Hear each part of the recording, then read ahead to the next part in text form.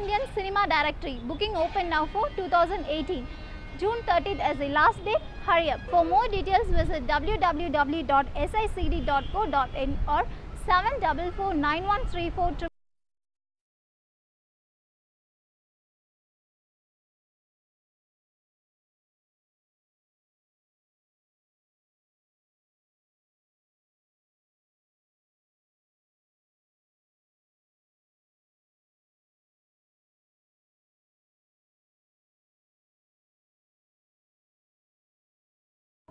அன்பு குழந்தைகளுக்கும் ஆசிரியர் பெருமக்களுக்கும் மீடியா நண்பர்களுக்கும் வணக்கம்.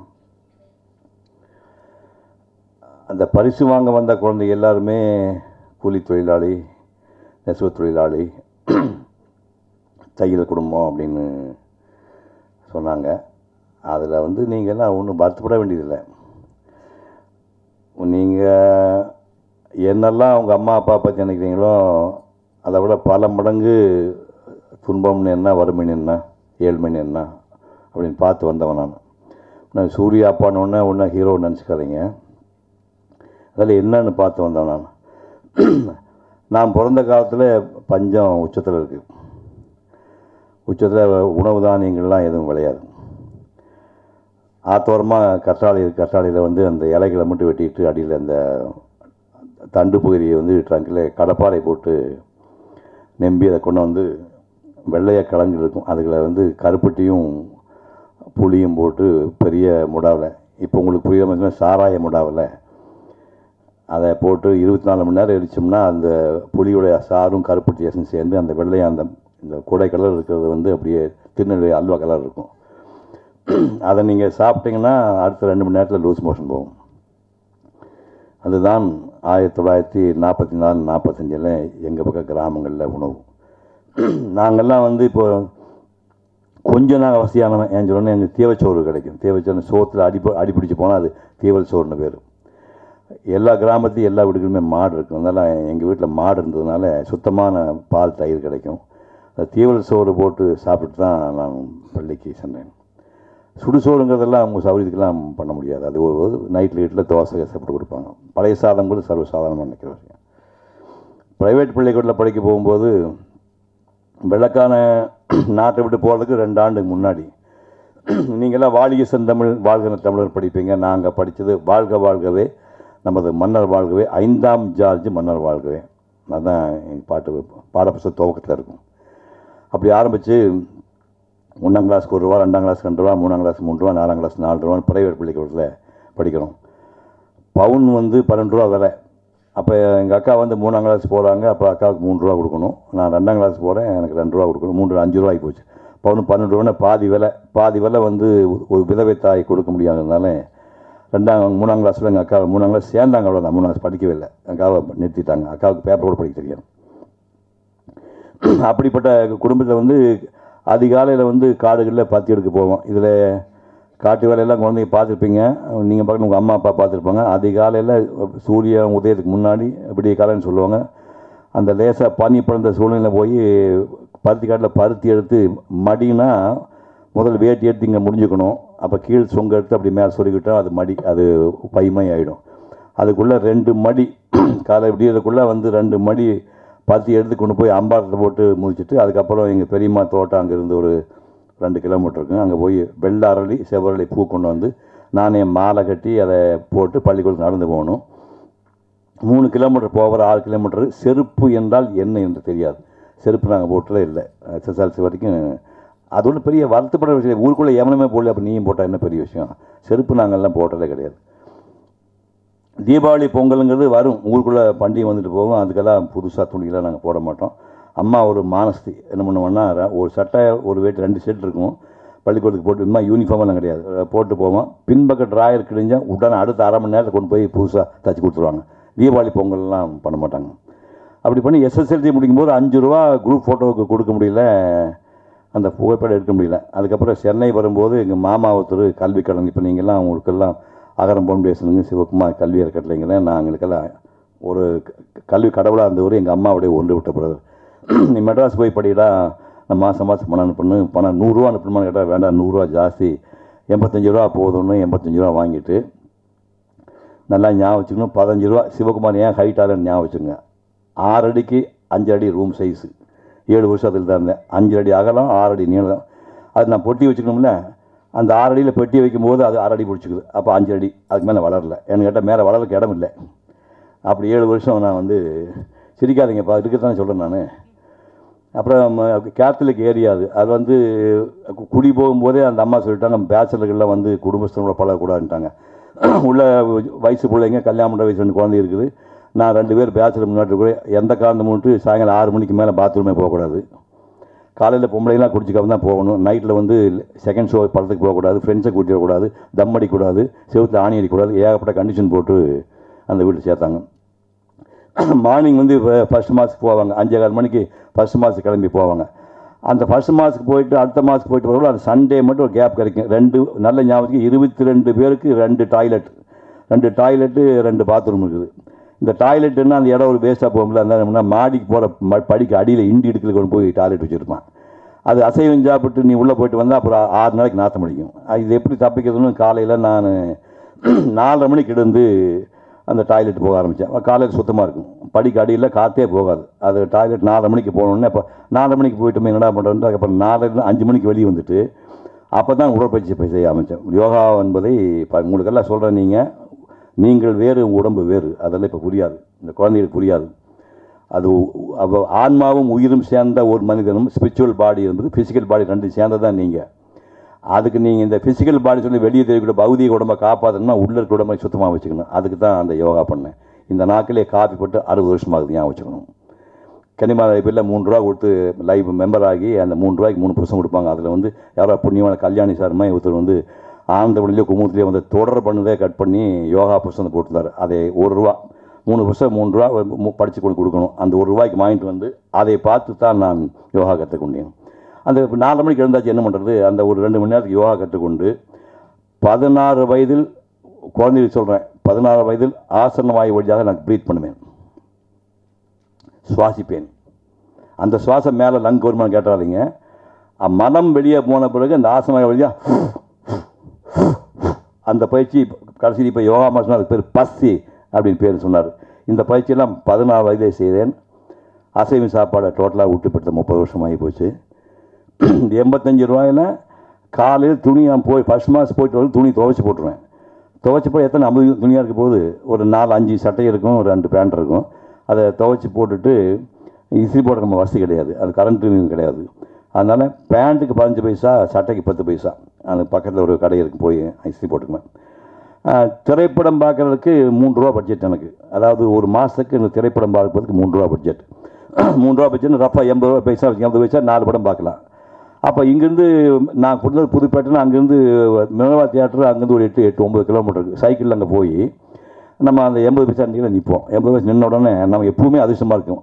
நீங்கள் தான் இப்போ அதிர்ஷ்ட கடை நினைக்கிறேன். எல்லா மனுஷனும் ஒரே மாதிரியாக இருப்பான். நம்ம போய் அந்த எண்பது பைசா இப்படி நீட்டும் போது முன்னாடி வாங்கினமே டிக்கெட் வாங்கி போனோம்னா க்ளோஸ் பண்ணுவான் எண்பது க்ளோஸ்ன்றான் அப்போ நீ ஒம்பது ஒன்று முப்பத்தி மூணுக்கு போகணும். ஒன்று முப்பத்தி ரெண்டு படம் தான் நீ பார்க்க முடியும்? அப்படிலாம் ரோஷப்படுவோமா நாங்கள் அப்படியே திரும்பி வந்துட்டு அடுத்த நாள் ஒரு மணி நேரம் முன்னாடி போய் அங்கேருந்து அதே எண்பது பைசா தான் பார்ப்பேன் நான். இங்கேருந்து மகாலிபுரத்துக்கு ஐம்பத்தாறு கிலோமீட்டர் அப்போ வந்து மைல் ஐம்பத்தாறு மைலுக்கு கிலோமீட்டர் கணக்கு போட்டுப்பாங்க. இங்கேருந்து சைக்கிளில் போய் ஒரு கணக்கு போல் வீட்டில் வெளியில் ஆடு மாடு படுத்துருக்கும். வெளியில் ஐ அரகராத்தில் பார்த்தீங்கன்னா வெளியில் ஓடு போட்டு அந்த கையோடு போட்டிருப்பாங்க. அந்த திண்ணையில் வந்து ஆடு மாடு தான் நைட்டில் படுத்து நாய் தெரு நாய் படுத்துக்கும் ஆடு மாடு படுத்துக்கும். கணக்கு வழக்கு சொல்லிட்டு சாமி நான் உள்ளே வர மாட்டோம் திண்ணையில் படுத்துக்கணும்னு சொல்லிட்டு அந்த ஆடு மாட்டை கொஞ்சம் விலைக்கு விட்டப்பா எனக்கு ஒரு நாளைக்கு எனக்கு இடம் கொடுறான்னு சொல்லிட்டு நாங்கள் திண்ணையில் படுத்துட்டு நாலரை மணிக்கு அஞ்சு மணிக்கு வெளியில் திறந்த வெளியிலே கழிப்பிடம் திறந்த வெளியில் இருட்டிலேயே போயிட்டு தெப்பக்கூடத்தில் கிளம்பிட்டு மாமல்லபுரம் காப்பே இப்போ இருக்குது. அந்த கேள்வி சமையலில் பார்த்தேன் நான். அந்த காப்பையில் வந்து டிஃபன் சாப்பிட்டு அந்த ஐந்திராங்களையும் கடற்கரை கோயிலையும் பயந்துட்டு அங்கேருந்து திருக்கடை அங்கேருந்து சென்னை. திருக்கடை செங்கல்பட்டு செங்கல்பட்டு சென்னை நாற்பது மைல்னா அறுபது கிலோமீட்டர் சைக்கிள். அவ்வளோதான் காசு. இப்போ எங்கள் வீட்டில் வந்து திடீர்னு ஒரு நாளைக்கு இல்லை குழந்தைகள்லாம் ஒன்றா சேர்ந்தா போய் ஸ்டார் கூட சாப்பிட்றாங்க சாப்பிட்டு ஒரு வேளை சாப்பிட்டு வெளியே வந்தால் பதினஞ்சாயிரம் ரூபா. சண்டிகர்லேருந்து அங்கே கன்னியாகுமரி வரைக்கும் நான் மொத்தமாக படிக்கிறதுக்கு ஏழு ஆண்டுக்கான ஏழாயிரத்தி நாற்பத்தொம்பது ரூபா. அப்போ எவ்வளோ சிக்கனமாக நினச்சி பாருங்கள் திருப்பதி போகலாம் திருப்பதிக்கு போனோம்னா கரடு உற்சவம் ரத உற்சவம் டைம் போடுவோம். எங்கேயும் தங்கற கிடம்பு இருக்காது. என்னடா பண்ணலான்னு யோசனை காலில் இடற மாதிரி திரும்பி பார்த்து அடியில் படுத்துட்டு இருப்பான். இந்த பக்கம் இடமா திரும்பி ஒருத்தர் படுத்துருப்பான். பேசின டைம் போட்டு நான் எவ்வளோ படுத்துட்டு ரெண்டு லட்சம் பேர் இருப்பாங்க. கருட உற்சவம் ரத உற்சவம் டைமில் அக்டோபர் மாதம் ரெண்டு லட்சம் பேர் இருப்பானுங்க. அந்த கும்பலில் படுத்துட்டு ஒருத்தன் கைப்பம்படிப்பான் அந்த குளிக்கணும். காலையில் டிஃபன் சொன்னால் இந்த சாம்பார் இட்லி வச்சு சாம்பார் ஊற்றினா மொழியர்னு பேண்ட் நினைஞ்சு போச்சு. என்ன கேட்டால் அது ரசம். என்னையா இப்படி ஊற்றுற அப்படின்னா? இப்போ தான் காசு சம்பாதிக்க முடியும். நீ ஏன் வர அப்படின்னு கேட்குறான் எனக்கு இப்போ தான் லீவ் விட்றாங்கண்ணா. சாம்பார்னு பேர். தண்ணி மட்டும் உழைச்சி விட்றான் போனால் பேண்ட் நினைஞ்சு போச்சு. அப்படியெல்லாம் இருந்து அங்கேயும் திருப்பதியிலேருந்து கீழ் திருப்பதிக்கு வந்து இப்படி மொத்தமாக கன்னியாகுமரிக்கு இங்கேருந்து ஒரு ரூபா ரூம் வாடகை. ஒரு ரூபா ரூம் வாடகை இப்போ என்னுடைய படமெல்லாம் இப்போ இப்போ காப்பி டேட் புக் போட்டிருக்காங்க அதெல்லாம் ஒரு ரூபாய் ரூம் வாடகையிலேருந்து வரைஞ்சது. இதெல்லாம் நீ ஏன் சொல்கிறேன்னா அப்போ வசதி இல்லாமல் போய் தான் சிவகுமார் அப்படி பண்ணிட்டான்னு வச்சுக்காதீங்க வசதி வந்து நடிகராகி ரோசா பருவக்கார் எழுபத்தொம்பது வருது. ஒரு நம்பர் மாற்றி சொன்னாங்க எழுபத்தெட்டு இல்லை எழுபத்தொம்பது அந்த சிவகுமார் கல்வி கட்டளை அந்த ஃபங்க்ஷன் வந்து எழுபத்தொம்பது எழுபத்தெட்டுன்னு சொன்னாங்க தயவு செய்து திருத்திங்க எழுபத்தொம்பது அந்த ஆண்டில் வந்து இங்கே சேர்த்துப்பட்டு பக்கத்தில் ஒரு சர்ச் இருக்குது. அங்கே ஷூட்டிங் போனால் டிபி ஹாஸ்பிட்டலில் ஒரு சின்ன ரூம் அஞ்சு அடிக்கு அஞ்சு ரூமுக்கு சார் இவ்வளோ கொடுக்க முடியலடா ரொம்ப தூரம் போகணும். நான் பரவாயில்ல இங்கே தங்கிக்கிறேன்னு சொல்லிட்டு சொல்லும்போது தண்ணி பிரச்சனை ஜாஸ்தி இருக்குது சார். நீங்கள் தயவு செய்து தண்ணிக்கு மட்டும் பிரச்சனை நீ எப்படியோ ஒரு பக்கெட் கொடுறானா. நம்ப மாட்டேங்க. இருபது லிட்டர் உள்ள இது இந்த சைஸ் பக்கெட்டில் ஒரு பக்கெட் சார் மூணு நாளைக்கு வச்சுக்கினாங்க அதில் டாய்லெட் போகணும் குளிக்கணும் ஷேவிங் பண்ணிக்கணும். மூணாவது நாள் ரெண்டு லிட்டர் மிச்சம் வச்சுருந்தேன். கற்பனை பண்ணி மூணாவது நாள் குடித்து ஷேவிங்லாம் பண்ணிவிட்டு ரெண்டு லிட்டர் மிச்சம் வச்சு இருபது லிட்டரில் பதினெட்டு லிட்டர் யூஸ் பண்ணியிருக்கேன். அப்போ எப்படி சிக்கன் பண்ணி பாருங்கள் வாழ்க்கைங்கிறது எவன் ஒருவனுக்கு தேவை குறைவோ அவன் தான் பெரிய செல்வந்தன். புரிஞ்சுக்கணும். எவன் ஒருவனுக்கு தேவை குறைவோ அவன் தான் பெரிய செல்வந்தன். நான் வந்து எண்பத்தஞ்சு ரூபா செலவில் எண்பத்தஞ்சு ரூபா செலவில் நான் மெட்ரா- மெட்ராஸ் இருக்கும்போது இந்த உலகத்தை சுண்டவர்களாக சுட்டுவேன் தைரியமாக இருந்தேன். இப்போ தான் தெரியுது பெரிய பணக்காரன் ஆகிட்ட பசங்க சம்பாதிக்கிறாங்க. கோடிக்கணக்கு பணத்துக்கப்புறம் சுண்டுவர் ரொம்ப சிறுசாக தெரியுது. அப்போ எவ்வளோ தைரியம் நினச்சி பாருங்க. ஆகவே நீங்கள் ஒரு ரெண்டு விஷயம் ஞாபகம் வச்சுங்க கல்வி ஒன்று ஒழுக்கம் ரெண்டு தான் உங்களை காப்பாற்றும். கல்வி ஒழுக்கம் ரெண்டு தான் உங்களை காப்பாற்றும். எந்த ஊரில் பிறக்கிறீங்க? அம்மா அப்பா படித்தாங்களா அம்மா அப்பா கிராமமா? அம்மா அப்பா டவுனா அம்மா அப்பா ஏழையா? அம்மா அப்பா பணக்காரனா? அம்மா அப்பா இருக்கிறாங்க இல்லையா? கவலையே படாதீங்க. கல்வி ஒழுக்கம் இந்த ரெண்டு மட்டும் இருந்தால் உலகத்தை எந்த மூலைக்கும் போகலாம். அஞ்சு ரூபாய் கொடுத்து அஞ்சு ரூபாய் கொடுத்து அந்த புகைப்படம் எடுக்க முடியல. இந்த ஒரு நெறி காலத்தில் நாற்பது வருஷம் சினிமா நடிச்சிருக்கிற நாலு கோடி ஃப்ரேமில் என் மூஞ்சி இருக்குது. நாலு கோடி ஃப்ரேமில் அந்த மூஞ்சி இருக்குது. ஆனால் அஞ்சு ரூபா கொடுத்து அந்த படம் முடிக்க முடியல. அந்த ஸ்கூலுக்கு ஒரு ரெண்டாயிரத்தி ஏழில் மீண்டும் பள்ளிக்கு போகலான்னு ஒரு ப்ரோக்ராம் பண்ணுறக்காக விஜய் டிவிக்காரங்க நீ வந்தே சொன்னேன் இந்த பள்ளிக்கூடம் போய் ரொம்ப நாளாச்சியானு நீங்கள் படித்த பிள்ளைகளுக்கு போயான்னு பிடிவாதமாக அந்த போய் எங்கள் கூட படித்தவங்க அஞ்சாறு பொண்ணுங்க கிளவி ஆகிட்டாங்க இப்போ நாம கிளம்பு இல்லையா? கிளவி ஆகிட்டாங்க ஒரு ஒரு அஞ்சாறு கிழவிங்க கூட படித்தவங்க வாத்தியார் உயிரோடு இருந்தாங்க எல்லாம் வச்சு அதே பள்ளிக்கூடத்தில் போய் நாங்கள் போய் பண்ணும்போது சிஇஓ இப்போ ஒரு பெரிய போஸ்ட் இருக்கார் கார்மேகம்னு. அவர் சொன்னார் ஆனால் அரசு பள்ளிகளில் அவங்க தாத்தா பாட்டி மாதிரி தனியார் பள்ளியில் இல்லை அது அரசு பள்ளிங்க தாத்தா பாட்டி மாதிரி தத்தெடுத்துக்கணும் அந்த வினாடியே அந்த பள்ளியை தத்தெடுத்து ரெண்டு ஆண்டுக்குள்ளே நான் எந்த ஊருக்கெல்லாம் போன எல்லை இப்போ போக மாட்டேன். அப்போ எல்லா ஊருக்கும் போய் இருபத்தஞ்சா ஐம்பதா ஐம்பதாயிரம் மீ மேடி மீட்டியில் பேசுகிற பணம் வாங்கி நான் ஒரு மனிதன் மட்டும் கிட்டத்தட்ட பதினெட்டு பத்தொம்பது லட்சம் ரூபா வசூல் பண்ணேன். அப்போ என் கூட படிச்சவங்க சேர்த்து ஐம்பது லட்சம் ரூபா வசூல் பண்ணி அரசாங்கம் ஐம்பது லட்சம் ரூபா கொடுத்து ஒரு கோடி லட்சம் ரூபாயில் நாங்கள் ஒரு ஐந்து வகுப்பறையும் மேலே வந்து ஒரு முந்நூறு நானூறு பேர் உட்கார மாதிரி ஒரு அரங்கம் இந்த மாதிரி அரங்கம் ரெடி பண்ணி கொடுத்தோம். இவங்க சூர்யாவுக்கு ஆத்தியும் சேர்லாம் வாங்கி கொடுத்தாங்க. அதாவது அஞ்சு ரூபா ஒருத்தர் ஃபோட்டோ எடுக்க முடியாதவன் இப்போ வந்து அந்த பள்ளிக்கு இருபத்தஞ்சு லட்சம் ரூபா வந்து டெபாசிட் போட்டு முன்னாள் மாணவர் கல்வி அறக்கட்டளையில் நான் தான் சேர்மன் இப்போ இந்த பையன் இப்போ வந்து போன சூலூர் பையன் அவன் திரும்ப பரிசு வாங்க போகிறேன் கேட்டான். அடுத்த மா நியாயமாக அடுத்த மாதம் இந்த உட்காந்துருக்கேன் பாரு. அடுத்த மாதம் எங்கிட்ட ப்ரைஸ் வாங்க போகிறான் அந்த ஸ்கூலில் மினிமம் முப்பது பசங்களுக்கு ப்ரைஸ் கொடுத்துட்ருக்கோம் அதே மாதிரி உட்காந்து அதே மாதிரி நூறு படம் முடிச்சோடனே என் மூஞ்சியை பற்றி எனக்கே தெரியும். என் மூஞ்சி அவ்வளோ கோரமாக கோரமாக இருக்கும் நீங்கள் ஒத்துக்க மாட்டீங்க. என் மூஞ்சி எவ்வளோ கோரம் எனக்கு தெரியும். இந்த மூஞ்சியை வந்து சகிச்சுக்கிட்டு நூறு படம் வந்து பார்த்துக்கணும். தமிழ்நாட்டு மக்கள் கடவுள் இல்லையா அவங்க? அந்த தமிழ்நாட்டு மக்களுக்கு நம்ம எதாவது பண்ணணும்ல? அது எதாவது பண்ணணும்னா ஏழாவது நோயாளி கொடுத்தா நோயாளி எப்படி குணமாக அடுத்த அம்மா சேர்த்து போயிட்டு போகிறான் ஒரு குழந்தைக்கு கொடுத்தனா ஒரு கல்வி கொடுக்கும்போது அது ஒரு ஆலமுரிச்சமாகி பல பேர் பிழைப்பானுக்காக தான் மாணவர்களுக்கு கல்வி கட்டளை ஆரம்பித்து இருபத்தாயிரம் ரூபா பணம் எனக்கு. அந்த படத்துக்கு ப்ரொடியூஸ் கொடுத்து இருபத்தாயிரரூபா அதை அப்படியே பேங்க்கில் போட்டு ரெண்டாயிரத்தி இரநூத்தி ஐம்பது ரூபாய். அந்த கிடைச்ச பணம் ரெண்டாயிரத்தி இரநூத்தம்பது ரூபா தான் பணம் வந்துச்சு. முதல் கம்ப்ளீட் லிஸ்ட்டு வச்சுருக்கேன். நான் டைரி ஆயிரத்தி தொள்ளாயிரத்தி அறு அறுபத்தொன்று டைரி எழுதிட்டு நல்லா ஞாபகம் வச்சுக்கணும். அதெல்லாம் சாதாரண பழக்கம் காமெடி நினச்சிக்காதீங்க. ஆயிரத்தி தொள்ளாயிரத்தி அறுபத்தொன்னுலேருந்து இன்றைக்கே டைரி எழுதிட்டுருக்கேன் ஒரு தேதி சொல்லுங்கள் அன்றைக்கி நான் எங்கேருந்து நான் சொல்லுவேன். அந்த டைரி எழுதியிருக்கேன். இப்படி ஆரம்பித்து ரெண்டாயிரத்தி எழுநூத்தம்பது ரூபாயில் துவங்கி அடுத்த நாலு வருஷத்தில் முத முதல்ல லிட்டில் ப்ரோ விடியிறந்த ஒரு பள்ளிக்கிற முதல் முதல்ல போகும்போது அந்த குழந்தைய நாலு தத்தெடுத்துக்கிட்டோம் இப்போ அந்த குழந்தை கொடுக்குறாங்க அவங்க.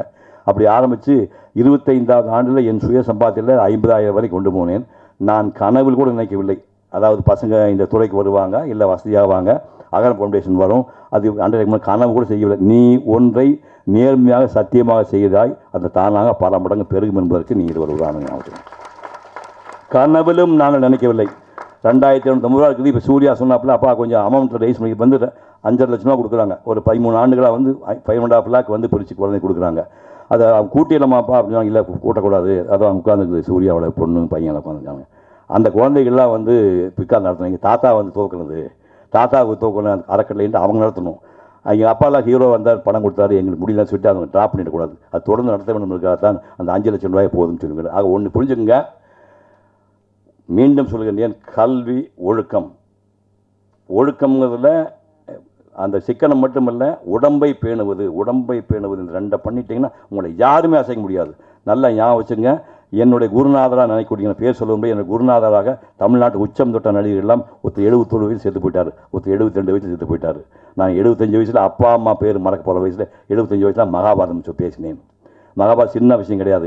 நாலரை வருஷம் ஆராய்ச்சி பண்ணி நீங்கள் இன்னைக்கு படிக்க ஆரம்பிச்சுன்னா கிளம்புன ஆகிடுவீங்க இருபத்தஞ்சி வயசில் படிக்க ஆரம்பிச்சு மகாபாரத்தை முழுசாக நீங்கள் படிக்கும்போது நாற்பது வயசு ஆகி போகும் அப்படி மா மாபெரும் காவியத்தை நாலரை வருஷமாக ஆராய்ச்சி பண்ணி சுருக்கி சுருக்கி சுருக்கி ரெடி பண்ணி எழுபத்தைந்து வயசில் ஒரு பேப்பரை பேசலாம் பேச முடிஞ்சது. இப்போ திருக்குறள் ரெடி பண்ணிருக்க காரணம் உடம்பை நீங்கள் பேணுவது. உடம்பை பேணுங்கள் கல்வி கற்றுக்கொள்ளுங்கள் வாழ்வாங்கு வாழுங்கள். நன்றி வணக்கம். எங்கள் எல்லாத்தையும் உங்கள் குடும்பத்தில் ஒருத்தராக நினச்சி முப்பத்தி ஒரு வருஷமாக ஒரு மாணவர் ஒரு மாணவி தவறாமல் இந்த வருஷமும் அத்தனை பேரும் சேர்ந்து இந்த விழாவை சிறப்பித்த அத்தனை மாணவர்களுக்கும் அத்தனை குடும்பத்தினர்களுக்கும் அப்பா அம்மாக்களுக்கும் இங்கே இருக்கிற ஆசிரியர்களுக்கும் இங்கே இருக்கிற பத்திரிகை நண்பர்கள் எல்லாருக்கும் அவ்வளோ நன்றிகள் தான் சொல்லணும். ஏன்னா இது ஒரு ஒரு வாட்டியும் ஞாயிற்றுக்கிழமைலாம் பார்க்காம சிரமங்கள் பார்க்காம தொலை துறவு எவ்வளோ செலவாகுது அங்கே இங்கேருந்து வரோம் அப்படிங்கிறதெல்லாம் எதுவுமே யோசிக்காமல் இந்த விழாவை வந்து சிறப்பிக்கிற ஒவ்வொருத்தருக்கும் மறுபடியும் நான் நன்றியை தெரிவிச்சுக்கிறேன். அப்பா சொன்ன மாதிரி கல்யாணி ஐயா சொன்ன மாதிரி வாழ்க்கையில் ஜெயிக்கணும் அப்படின்னா இந்தந்த விஷயங்கள் இருந்தால் போதும். வெறும் கல்வி ஒழுக்கம் இது மட்டும்தான் வந்து அண்டர்லைன் பண்ணிக்கணும். இது இருந்தாலே போதும் வேறு வேறு எதுவுமே தப்பாக போகாது வாழ்க்கையில். ஏன்னா எல்லாருமே வாழ்ந்திருக்காங்க எல்லாருமே சில விஷயங்கள் பார்த்துருக்காங்க. அவங்க கத்- விஷயம் அவங்க உணர்ந்து கற்றுக்கிட்ட விஷயத்தை தான் வந்து மறுபடியும் எடுத்துக்க சொல்கிறோம் ஏன்னா திரும்பி வந்து நம்ம ஒரு ஐம்பது வயசு அறுபது வயசு வாழ்ந்து அப்புறமா ஆமாம் இல்லை இப்படி இருந்திருக்கணுமா அப்படின்னு கரெக்ட் இல்லை அப்படின்னு யோசிக்காமல் இப்படி இருந்தால் சரியாக இருக்கும் அப்படிங்கிறத வந்து வாழ்ந்து அனுபவித்து புரிஞ்சு சொல்கிற விஷயத்த வந்து பகிர்ந்துக்கிறதுக்கும் வந்து இதுக்கு ஒரு நல்ல ஒரு வாய்ப்பாக இருக்குது ஸோ ஒவ்வொரு வாட்டியும் இந்த மாணவர்களை பார்க்கும்போது வந்து ஒரு ஒரு வாட்டி தோணும் இல்லையா? இந்த வருஷம் வந்து நம்ம எதுக்காக ஓடணும்? எதுக்காக உழைக்கணும்? எதுக்காக வந்து பணம் சம்பாதிக்கணும்? எதுக்காக நம்ம இன்னும் நம்ம செய்கிற தொழிலை பண்ணிகிட்ருக்கணும் அப்படிங்கிற மாதிரி ஒரு கேள்வி வந்துகிட்டே இருக்கும். அந்த கேள்விக்கெல்லாமே வந்து இந்த மாதிரி இந்த விழா தான் வந்து பதிலாக நான் பார்க்குறேன். எப்படி எதுக்காக நம்ம இயங்கிட்டு இருக்கணும் எதுக்காக நம்ம அடுத்த விஷயத்த பண்ணிட்டு இருக்கணும் அப்படிங்கிறதுக்கு எல்லாமே இங்கே இருக்கிற மாணவர் மாணவிகள் அவங்க பண்ணுற சாதனைகள். ஒரு கிட்டத்தட்ட டுவெல்த் ஸ்டாண்டர்ட் படிக்கிறதுக்குள்ளே படித்து முடிக்கிறதுக்குள்ளே அவங்க வாழ்க்கையில் படுற அத்தனை விஷயங்களும் வந்து ஸ்டேஜில் வந்து அவங்க ஷேர் பண்ணுற விஷயங்கள் வந்தால் நம்மளை இன்னும் வேகமாக ஓட வைக்கிறது நம்ம இன்னும் நிறையா பண்ணணும் இன்னும் நிறையா கொடுக்கணும் இன்னும் நிறையா ஏதாவது பண்ணிடணும் அப்படிங்கிற ஒரு ஆர்வத்தை உண்டு பண்ணுறது அப்படின்னா இங்கே மேடையில் வந்து எல்லா ஊர்கள்லேருந்தும் தமிழ்நாட்டில் இருக்கிற பல கிராமங்கள்லேருந்து பல அரசு பள்ளிகள்லேருந்து வர மாணவர்கள் பேசுகிற அந்த ஒரு ஒரு வார்த்தைகள் மட்டும்தான் வந்து அந்த உத்வேகத்தை கொடுக்குது வேகத்தை கொடுக்குது. இந்த வருஷம் ஃபுல்லாக அடுத்த வருஷம் ஃபுல்லாக நம்ம என்ன பண்ணணும் அப்படின்னு யோசிக்க வைக்குது. கல்யாணி ஐயா அவர்கள் சொன்ன மாதிரி அது மறுபேச்சே கிடையாது. தாய்மொழி கல்விங்கிறது அது மறுபேச்சே கிடையாது. அந்தந்த இடத்துல இருந்து அவங்க நிலைப்பாடுல இருந்து அது யோசித்தா தான் அதோட அதோட என்ன அந்த என்ன சொல்கிறது அந்த அந்த அந்த பசியும் அந்த வெறியும் அந்த கோபமும் தெரியும். மெட்ராஸில் இருந்துக்கிட்டே இல்லாட்டி ஒரு டவுனில் இருந்துக்கிட்டோ வந்து சொல்கிறது ஆமாம் அவரோட நிலைப்பாடு அது அவரோட கருத்து அது அப்படின்னு பார்க்குறவங்க நிறைய பேர். பட் அந்த வாழ்க்கையிலேருந்து அந்த வாழ்வாதாரத்துலேருந்து பார்க்குறவங்களுக்கு அது எவ்வளோ உண்மை இருக்குது எவ்வளோ அத்தியாவசியமாக இருக்குது எவ்வளோ எவ்வளோ நம்ம நேரத்தை வந்து வீண் பண்ணிகிட்ருக்கோம் இருக்கோம் அப்படிங்கிறது வந்து அங்கேருந்து யோசிக்கிறவங்களுக்கு வந்து தெரியும். மருத்துவத்திலேருந்து ஐயா பொறியியல் கல்லூரி சொன்னார் தாய்மொழி கல்வியிலேயே வந்து ஒரு மருத்துவக் கல்லூரியும் ஒரு பொறியியல் கல்லூரியும் வரணும்னு சொல்லியிருக்காங்க. டூ தௌசண்ட் சிக்ஸில் வந்து ஞானவேல் அவர்கள் ஜெய்ஷி அவர்கள் வரும்போது அகரம் இப்படி ஒரு ஷேப் ஆகும் அப்படின்னு நாங்கள் நினச்சி பார்த்ததில்ல. இப்போது இரண்டாயிரத்தி ஐநூறு மாணவர்கள் இந்த வருஷம் தொடரோம்னா இது உங்கள் எல்லாத்தோட பிளஸ்ஸிங் இது. எப்படி ஆரம்பிக்க போகிறோம் அப்படிங்கிறது தெரியாமல் ஒரு ஒரு அப்பா சொன்ன மாதிரி செவன்டி நைனில் அந்த ஒரு ஒரு சின்ன ஒரு எண்ணம் தான். அந்த எண்ணம் வந்து எல்லாத்தோட ஆசீர்வாதமும் கிடச்சிது. தமிழ்நாட்டில் இருக்கிற அத்தனை அத்தனை பேர்த்தோட ஆசீர்வாதம் நல்ல எண்ணமும் இருக்கிறதுனால தான் வந்து இந்த விஷயம் வந்து சாத்தியமாச்சு. இன்றைக்கி இன்னைக்கு அவர் சொல்லிட்டு இருக்கிற ஒரு வா- ஒரு வாக்கு பழிக்கட்டும் பழிக்கணும்னு நாங்களும் ஆசைப்பட்றோம். அந்த மாதிரி ஒரு விஷயம் வந்துன்னா ரொம்ப சந்தோஷப்படுவோம். அதுக்கான வேலைகள் என்னென்ன பண்ணணுமோ நிச்சயமாக அகரம் சைடிலிருந்து யோசிக்க ஆரம்பிப்போம். அதே மாதிரி விளையாட்டு அறிவியல் அதையும் வந்து சேர்த்துக்கிட்டு இந்த வருஷத்துலேருந்து அடுத்த வருஷம் அதுக்குன்னு தனியான மாணவர்கள் சேர்க்கை வந்து இன்னும் அதிகப்படுத்தப்படும்னு இப்போ நான் எல்லாருக்கும் சார்பாக அகரம் சார்பாக நான் அதை தெரிவிச்சுக்கிறேன்.